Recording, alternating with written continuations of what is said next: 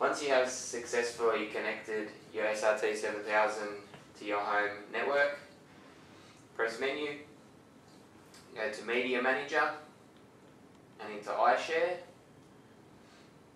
set the mode to server and press the red key to start that operating.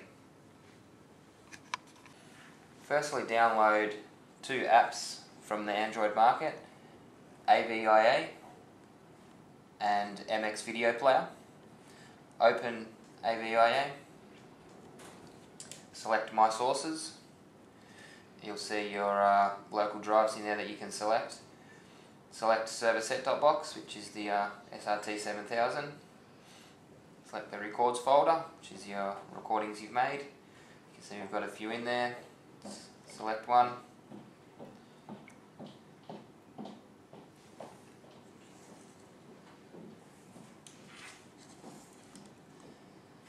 Choose MX Video Player as uh, the player that you want to play the file.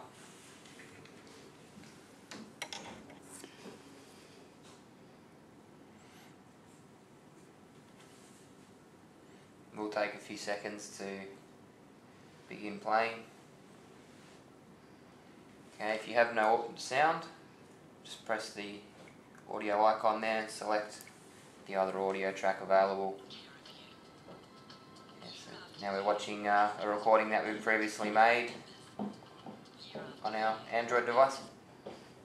While playing back a recording on one device, you can also play a different recording on a second device. So we'll begin it on the first device.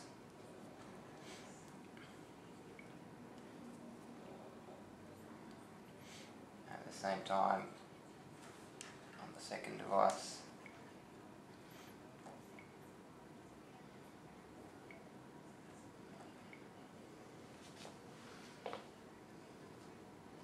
MX video